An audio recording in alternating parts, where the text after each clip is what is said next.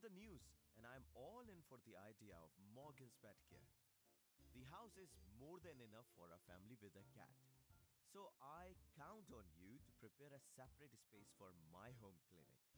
The first floor seems to be perfect for that. That's why I will need some basic equipment in there. I'll bring the specialized instruments with me later on.